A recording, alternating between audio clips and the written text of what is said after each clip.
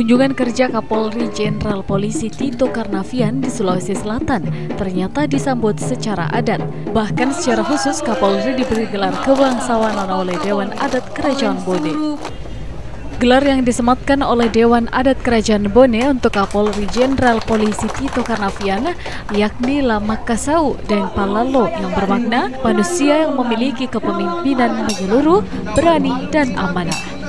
Penyematan gelar pun ditandai dengan pemasangan jas tutup dan sarung sakbe atau sutra kepada Kapolri yang dilakukan oleh Bupati Bone Andi Fasahar Panjalangi dan berlangsung di kantor Polda Sulsel Selasa 23 Agustus 2016.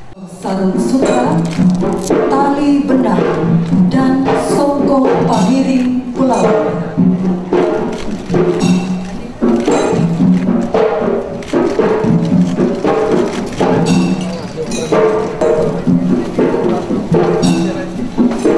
Thank you.